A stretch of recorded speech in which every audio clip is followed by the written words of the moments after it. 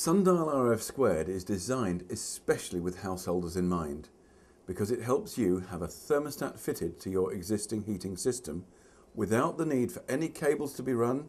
So that means you won't have any floorboards lifted, no chasing out of the walls, and there won't be any damage to the fabric or the decoration of your home. Each pack contains a wireless enabled timer and a wireless thermostat. The timer has the receiver built into it so that the wireless thermostat communicates directly with it.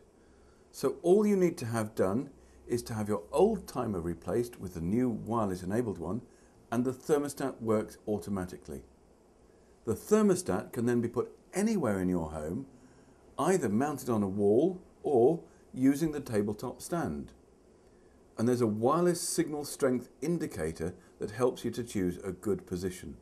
No other wireless receiver is needed, so there's no other wiring to be done.